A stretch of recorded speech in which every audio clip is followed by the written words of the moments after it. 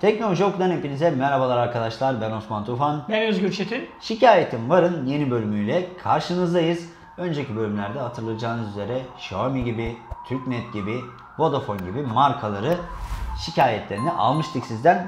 Bugünkü konumuz ise Arçelik. evet Arçelik. Yerli üretim denildiğinde Akla akla, gelen, gelen ilk markalardan markalardan birisi. birisi. Arçelik. Gerçekten de yıllardan beri Tabii. olan bir marka yani. Televizyon, beyaz eşya, Beyaz eşyada buzdolabı, özellikle. beyaz eşya Ya, özellikle. televizyonda çok fazla Yeni yeni. yoktu yani. Evet. İşte Beyaz beyaz, eşya. eşyada gayet böyle Bir numara yaygın bir şey diyebiliriz var. yani. Fiyatlarının da uygun olmasından ötürü biraz daha yaygın herhalde. Şimdi çünkü İtalya mesela atıyorum Bosch'tur, Siemens'tir vesaire karşılaştırdığın zaman Arçelik'le arasında çok fazla Bir de bence. Arçelik'in ya da Beko'nun hani işte yan kardeş markası en önemli katma değeri bence e, Anadolu'da her yerde olmaları. Şimdi Evet. şöyle düşün, bunu çok denediler bunu geçtiğimiz yıllarda hani boşta satalım falan da. Anadolu'daki adam gidiyor şimdi Kayseri'deki bayi geliyor selamünaleyküm aleykümselam. Ne var abi? Arçelik var. Tamam ver onu diyor. Anladın mı? Hani o adamın elinde ne varsa o satıyor aslında. Ve Doğru. o bayi iletişimi veya mesela Ya bayide mesela- şöyle bir şey de oluyor. Parasını sonra da verebiliyorsun. Mesela biz yazın Marmara Adası'na gidiyoruz. Bir tane beyaz eşya şeyi var. Dükkanı.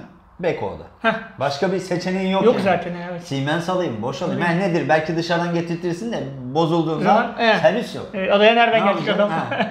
Dolayısıyla böyle olunca da e, Anadolu'nun genelinde de yayılmış oluyorlar. Şimdi gelelim şikayetlere.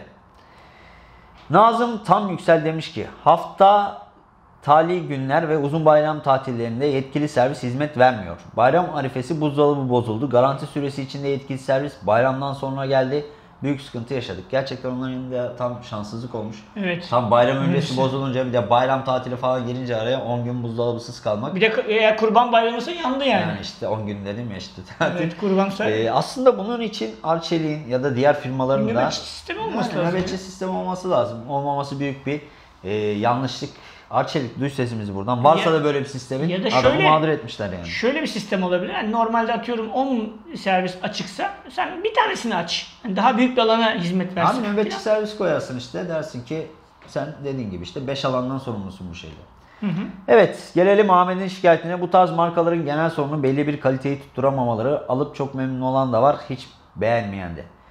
Yani bu da Evet. doğru bir yorum. Bu özellikle ben Arçelik'in hani geçmiş zamandaki ürünleriyle şimdiki zamandaki ürünlerini çok karşılamak istiyorum. Bizim mesela yazlıkta belki 40 yıllık bir buzdolabı var. Tam böyle eski Arçelik logolu falan. Hala çalışıyor. Sonra yeni bir tane almıştık alt katına. Birinci senesinde bozuldu. Geldik fişi taktık. Bozuldu buzdolabı. Servis mervis geldi motoru yanmış. Ya dur, Diyor ki aşırı bir akım gelmiş olabilir. Aşırı bir akım gelmiyor yani. Fişi öyle bir akım yok zaten. Fişi taktık bozuldu yani. E, dolayısıyla eskiden yeniye bir değişim var sanki. Ya şöyle ben ben de şimdi bizim de vardı mesela benim hatta doğduğum çocukluğumda 18-19 yaşına kadar benimle yaşıt buzdolabı vardı evde. 74 doğumluyum ben. E, o zamanlar evet yani böyle hani taş gibiydi. Şimdiki malzemeler biraz daha böyle çıt kırıldım. Daha böyle hani elektrik bilmem ne oldu hop gitti bitti gitti. çocuk buzdolabına kafasını çarpıyor, Yamuluyor, yamuluyor zaten. evet, evet. O yüzden hani eski kalite yok. Onu ben de söyleyebilirim. Erhan, Erhan Varlıklı ben Varlıklı. okuyayım Oku. İki yıl önce aldığım bulaşık makinesinin kapağından bir yıldır ses geliyor. Servis çağırdık her geldiğinde bir yerini değiştirdiler ama hala ses var. Müşteri hizmetlerini arıyorum servise yönlendiriyor. Servis her geldiğinde başka bir hata bulup parça değiştiriyor gidiyor. Biraz sert yapınca tüketici mahkemesine gidin diyorlar. Yerli üretici ve sağlam bir firmaya yakışmayan ürünü neden değiştirmiyorlar? Nerede tüketici hakları diyor.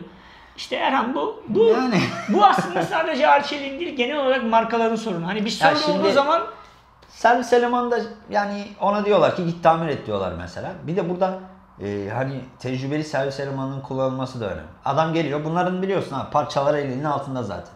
Bak yani şu parçayı değiştirelim sorun bundandır. Tak değiştiriyor. Şu parçayı değiştir. Zaten garanti kapsamında. Oraya garanti kapsamında Evet. diye de yazıyor. Dolayısıyla burada biraz da servis elemanlarının yetersiz olması bana göre sorun oluşturan bir faktör. Tam olarak ne olduğundan adamın da haberi yok çünkü.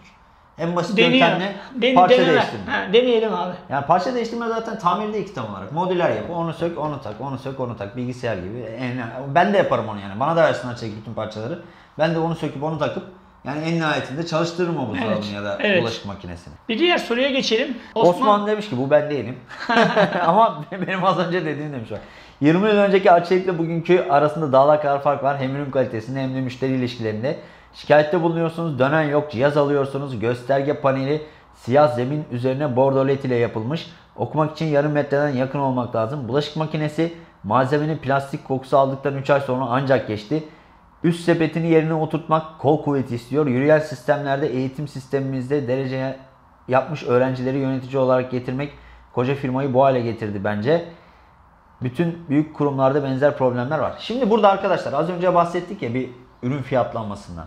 Dolayısıyla burada muhtemelen Arçelik'te hani kalite standartını biraz daha düşük tutuyordur bana göre. Şimdi sallıyorum. İşte A markasının buzdolabı modeli 5000 lira olup da B markasının birebir aynı benzer modeli 3000 lira oluyorsa yani burada dışarıdan baktığımızda göremediğimiz mutlaka farklılıklar mevcuttur ki bu da nedir işte plastik kokusu demişim. Plastiğin binlerce Kalitesi, çeşidi var. tabii. Kim bilir hangi çeşidini kullandılar orada. Dolayısıyla onun kokusu hiç de çıkmayabilirdi. Yine senin şansına çıkmış 3 de- ayda olsa. Bir de burada e, yaptığı biliyorum arkadaşın içeriden bir bilgisi var gibi geldi bana. Yürüyen sistemleri eğitim sistemimize derece yapmış öğrencileri yönetici olarak getirmek gibi bir ifade, enteresan bir ifade geldi. Hani bir örnek gördü herhalde burada. Çalışan biri de olabilir bu Osman ben sana söyleyeyim. Ya olabilir belki de hani e, derece yapmış birini getirmişler. Ya şimdi bir firma olarak her firma bunu zaten ister. Yani e, yönetici kadrosuna zeki birini işte derece yapmış birini getirmek ister ama, ama, tecrübe, tecrübe de önemli burada bir işte. konu. Bir de o getirdiğiniz kişinin işine kadar yürütüp yürütmediği bu da önemli.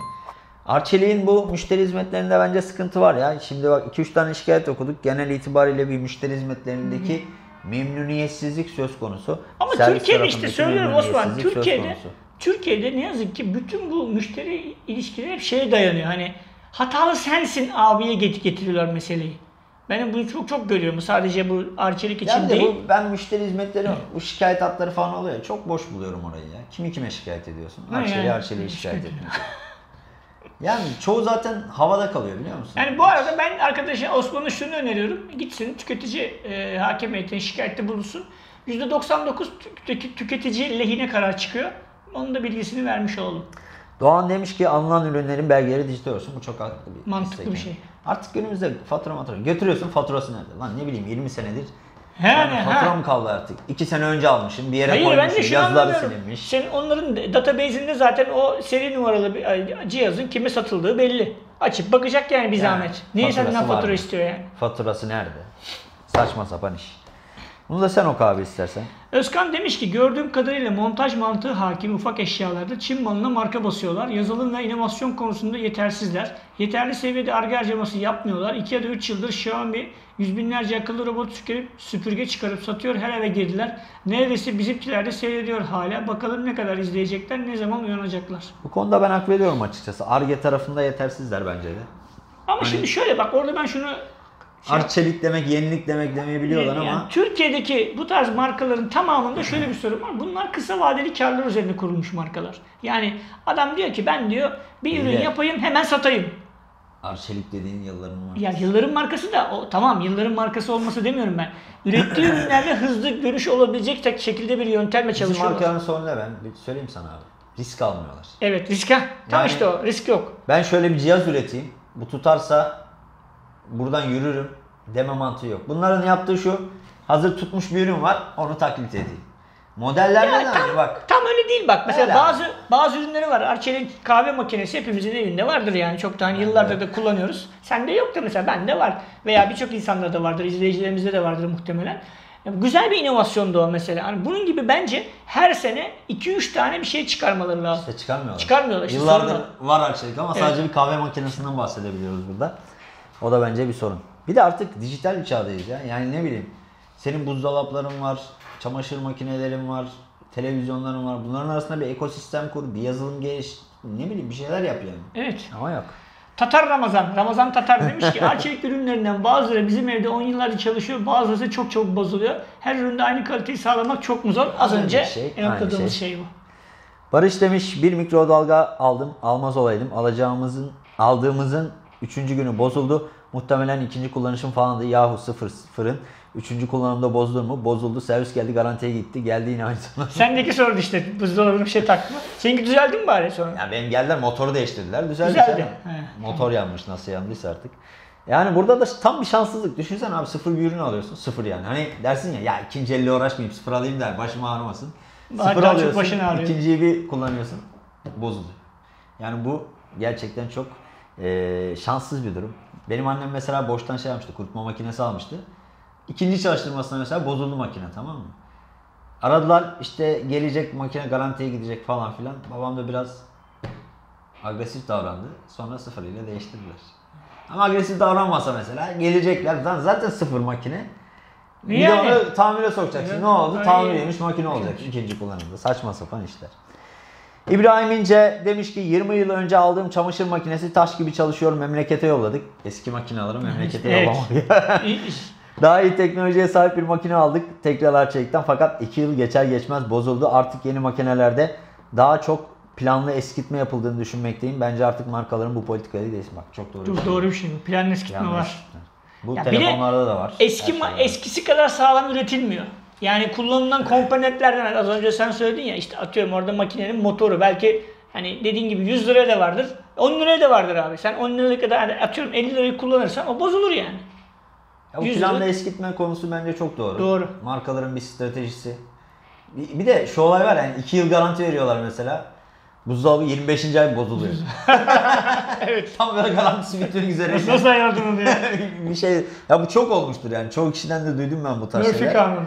Yani e, farklı şeyler var gerçekten bu konuda. Özellikle bunu akıllı telefon sektöründe yapan hatta Apple gibi şirketlerin bile hani planlı yavaşlatması vesaire. Bayağı ceza yediler oradan evet. Bilgisayar tarafında da bakıyorsun. Bir bilgisayar alıyorsun. Bütün oyunları çalıştırıyor. Aradan bir sene geçiyor geçmiyor. Aynı oyunu low ayarlarda bile açmamaya başlıyor. Dolayısıyla arkadaşlar bu sadece hani beyaz eşyada değil. E, diğer bütün elektronik cihazlarda var. Bunun sebebi de ne? Atıyorum şimdi adam bu bilgisayarı yaptı. Sen bunu 10 yıl kullanırsan, herkes 10 yıl kullanırsa Yani nasıl kime para kazanacak? Evet. Yani adamlar da bunu düşünüyor. Dolayısıyla şartları döndürmek için bu tarz e, olaylara başvuruyor. Ha dersen ki ya ben onun 10 katı fiyatı vereyim ama yeter ki işte beni bozmasın, şey yapmasın dersen 10 yıl garantili ürünler satan Var, var. markalarda var yani 10 yıl garanti veriyor adam. Ama fiyatına baktığın zaman da Zaten işte Arçelik'in beş 3 tane- katı 5 katı falan yani. 5 tane şey alırsın. Onu da diyorsun ki lan bunu alana kadar 2 tane bozulsa Şansımı deneyeyim diyorsun Yani. yani. Dolayısıyla arkadaşlar ne kadar para o kadar köfte, Köfte oluyor bu durumda. Evet bir şikayetim var programın daha sonuna geldik. Bu programımızda Arçelik'i konuk ettik. Sizin de Arçelik'le ilgili yorumlarınız varsa ki bizim web sayfamızdan e, teknolojok.com'dan gelen yorumlarda bunlar ki bir kısmını aldık hepsini almadık. E, bu videonun altına ya da e, açıklama kısmında vereceğimiz linkteki haberin altına da yazabilirsiniz. Eğer e, farklı markaları da yine bu şekilde değerlendirmemizi istiyorsanız bize yorum olarak da yazmaktan çekinmeyin. YouTube kanalımıza abone olun ve bizleri aynı zamanda Instagram, Twitter, Facebook gibi sosyal ağları takip etmeyi unutmayın. Farklı videoda görüşmek üzere, hoşçakalın. Hoşçakalın.